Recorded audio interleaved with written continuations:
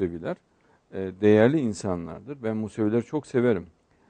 İshak, Yakup, e, İsmail, e, Hazreti Yusuf, Süleyman bunlar hep bizim peygamberlerimizdir. Ve onlar da bu soydan gelmekteler. Dolayısıyla e, Musevi soyunu ortadan kaldırmaya kalkanlar Hazreti İbrahim soyunu ortadan kaldırmaya kalkıyor oluyorlar. Bir Müslümanın peygamber soyunu ortadan kaldırılması da e, sessiz kalması düşünülemez. Tabii ki tavır kor.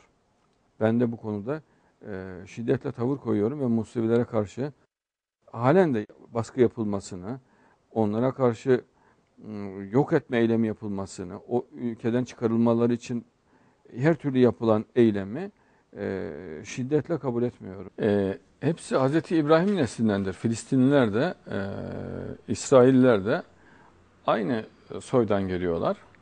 E, ve e, Musevilik de eski bir İslam dinidir. E, gerçi tahrif olmuştur ama eski bir İslam dinidir. E, Kur'an e, tahrif olmuş yönlerini açıklıyor. Yani Musevilerin e, büyük bir çoğunluğu e, zamanla bu gerçeği görecektir. Anlatılması ve izah edilmesi gerekir. Velev ki e, ikna olmasalar bile onların orada yaşaması e, Kur'an'da da var olan bir şey. Yani o bölgede onların ataları, ecdatları, geçmişleri orada yatıyor. Yani orada bir devlet kurmaları, orada yaşamaları makul. Bunda bir şey yok. Sadece e, saldırgan bir politika izlememeleri çok önemlidir. Peygamber Efendimiz zamanında da onlar sallallahu aleyhi ve sellem orada yaşıyorlardı. E, ve her zaman da kıyamete kadar da yaşayabilirler. E, yeter ki saldırganlık yapmasınlar, yeter ki ehli kitap olmanın e, gereğini yerine getirsinler. E, yoksa Hristiyanlar da ehli kitaptır. Onlar da orada istedikleri gibi hür yaşarlar.